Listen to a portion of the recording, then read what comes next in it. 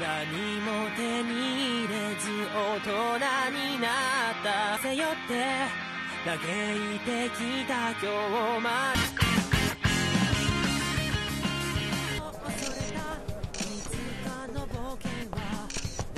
先輩行っちゃいますよバス。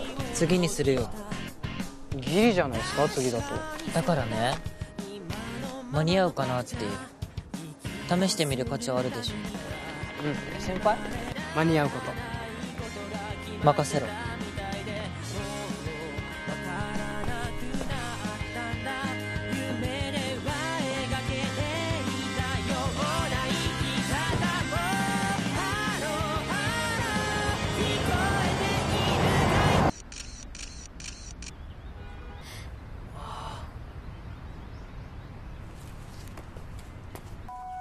はいお嬢様だね。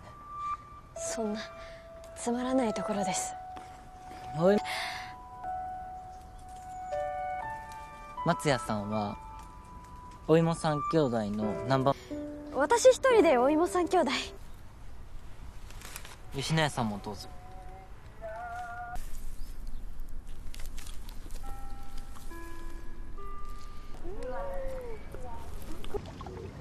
林です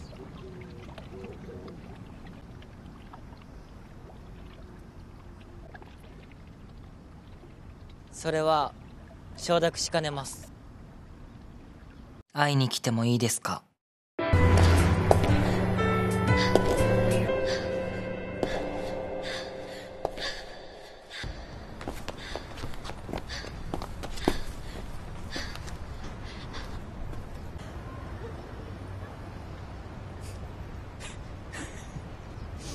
はい